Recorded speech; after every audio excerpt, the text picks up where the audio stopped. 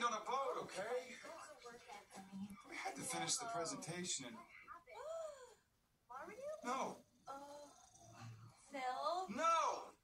Oh, I'm up. I'm up. Where, where, where am I? Oh. Where am I, Duke? Oh, I'm up. I'm up. Oh, Phil, thank God you're here. Party. I was trying to be Off a big the shot. couch! You know, I, I just invited some friends, and then they invited friends, and it just got crazy. And Come oh, I'm here. sorry, Now! Phil. I really could use a hug right now. That dog! Phil, no, Phil, I'm trying to Phil, stop it. No, just give me a chance. To, Phil, just- I said I'm sorry.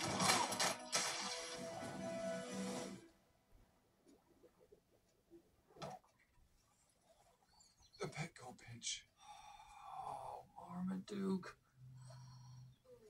Uh-oh, Daddy. I don't care if it's raining, I'm done. He can sleep outside. Perfect. That will solve everything. We'll just leave him chained up in the backyard for the next 10 years. Maybe we give him away.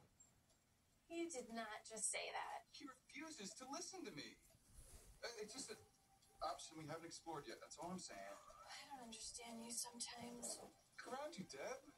He destroyed our home. No, he didn't. Our home is us. It's you and me and the kids. It doesn't matter where we are.